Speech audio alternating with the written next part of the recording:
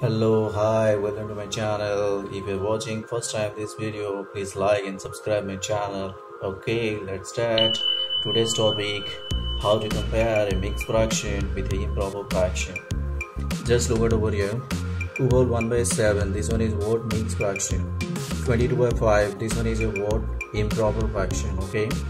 So i will tell about that how to solve or how to compare a mixed fraction with an improper fraction just look at over here. This one is a what this one is a what this one is a mixed fraction okay? 2 whole 1 base 7 this one is a what this one is what improper fraction okay?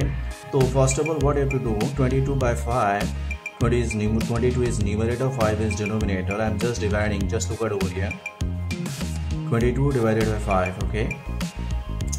5 fours are what 20 subtracting 2 so this is the question part and this is what the remainder part so I can also write in this way instead of 22 by 5 you can also write like this that is 4 whole 2 by 5 so I can also convert the improper fraction to mixed fraction okay?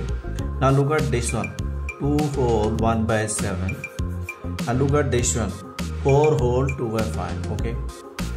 Now see we have to compare the whole number over here. This is the whole number this is the called as the whole number of this mixed fraction that is 2 whole 1 by 7 this the whole number is what 2 and this mixed fraction 4 whole 2 by 5 what is the whole number over here? This is called as the whole number okay?